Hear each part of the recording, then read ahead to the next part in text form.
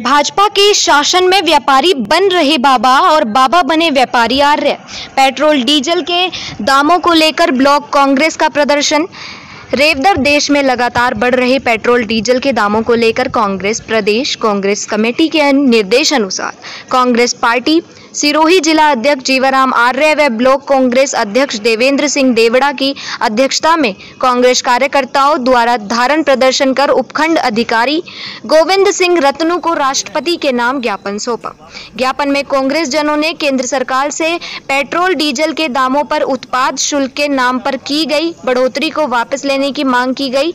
जिला कांग्रेस कमेटी अध्यक्ष जीवाराम आर्य ने पेट्रोल, डीजल के बढ़ते दामों को लेकर केंद्र सरकार व पतंजलि को घेरते हुए कहा कि भाजपा के शासन में व्यापारी बाबा बन रहे हैं और बाबा व्यापारी, उन्होंने कहा कि भाजपा तीस रुपए प्रति लीटर में डीजल, पेट्रोल जनता को देने का वायदा पूरा करें।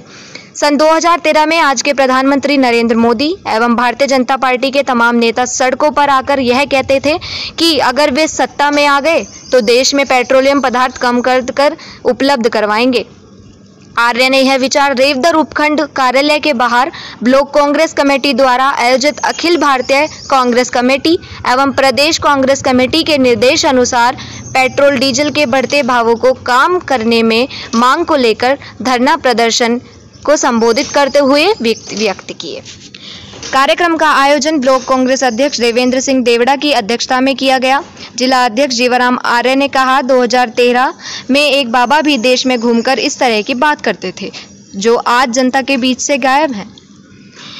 उस वक्त भी नब्बे रुपये पेट्रोल व बयासी रुपये डीजल के भाव नहीं थे। पिछले दिनों 18-20 डॉलर प्रति बैरल के भाव हुए तो जनता को उसका लाभ देने की बजाय मोदी सरकार ने दो बार उत्पद शुल्क बढ़ाकर सरकारी खजाना भरने का काम किया। धरने को संबोधित करते हुए जिला महासचिव दलपत सिंह नागानी वरिष्ठ कांग्रेस नेता जिला कांग्रेस प्रवक्ता व युवा कांग्रेस विधानसभा राजेंद्र सिंह सोलंकी ने कहा कि भाजपा जब सत्ता के बाहर होती है तब उनकी राग अलग होती है और सत्ता मिलने के बाद राग ही अलग होता है। केंद्रीय मंत्री रविशंकर प्रसाद के उस बयान को हास्यपद बता, बताया कि पेट्रोल डीजल के भाव बढ़ने या घटने में सरकार की कोई भूमिका नहीं होती है। Bureau report Zee news Narendra Modi सरकार ने लगातार पिछले कोरोना के का- काल के दौरान दो बार एक्साइज ड्यूटी बढ़ा करके इसको महँगा किया है।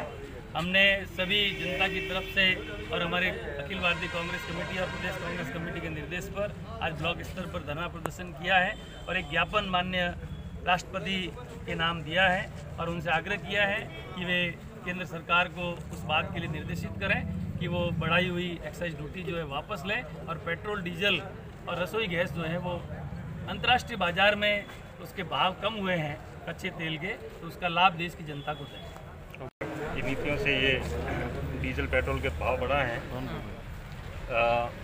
जो अपेक्स कमेटी कमेटी है और पूरे वर्ल्ड की, उन्होंने तो क्रूड के भाव कम किए हैं और इन्होंने इतने ज़्यादा भाव बढ़ा दिए हैं कि हमारी किसानों की और आम आदमी की कमर टूट गई है। सोतला अ, जनता के साथ। में हो रहा है।